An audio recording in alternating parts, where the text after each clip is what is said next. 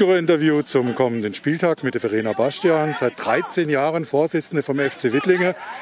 Frau Bastian, ja, es wäre jetzt fast schon wieder was drin gewesen. Wir Ja, sind nämlich fast. hier beim Spiel der Sportvereinigung Brennet Öfflinge gegen der FC Wittlinge. Kellerduell in der Bezirksliga.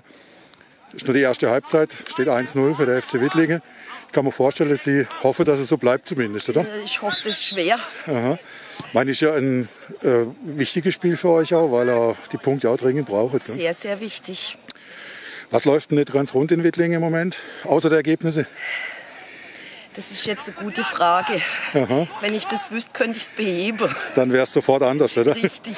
Ja. Aber es stimmt eigentlich schon soweit in der Mannschaft, Trainer, Vorstandschaft, das läuft schon alles Es normal, läuft oder? Mhm. alles ganz normal und trotz alledem bringen sie die Ergebnisse nicht zustande. Aber letztes Mhm. Jahr war es umgekehrt, da haben wir unsere Punkte in der Vorrunde geholt Mhm. und plötzlich lief es in der Rückrunde nicht mehr, ganz komisch.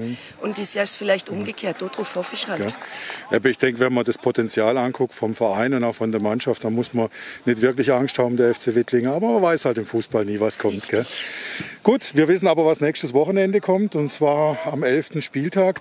Wir gucken uns schnell die Paarungen an. SV Weil 2 gegen der FC Schlüchtal. Was denken Sie, was wird da rauskommen?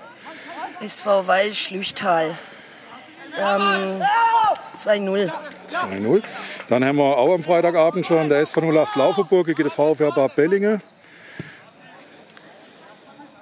Schwer. Schwer. Ich setze mal ein 0-0. Okay, dann haben wir am Samstag das Spiel vom FC Erzingen gegen den Aufsteiger Bosporus FC Friedlinge. Erzingen ist heimstark. 2-1.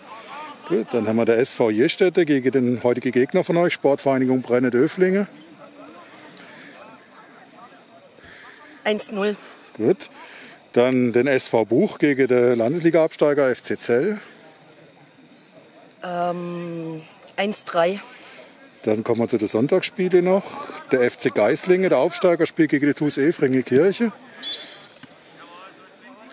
Geislinge wartet immer noch auf einen Heimsieg. Gell? Das Ja. wäre der erste in der Bezirksliga-Geschichte des Vereins. Also ich wünsche es und sage jetzt einfach mal 1-0. Gut, schauen wir mal. Und dann haben wir noch der FC Wehr gegen den Tabelleführer FC Schönau. Wird sicher ein interessantes Spiel. Gell? Ja, das ist, was ist wer Schönau? Mm, Das, das gewinnt Schönau. Ähm, ich sag 1-3.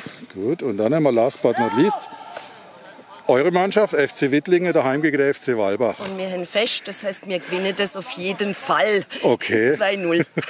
Gut, Frau Bastian, dann wünschen wir der Mannschaft viele, viele Punkte und viel Erfolg. Alles Gute auch Ihnen. Herzlichen Dank. Dankeschön.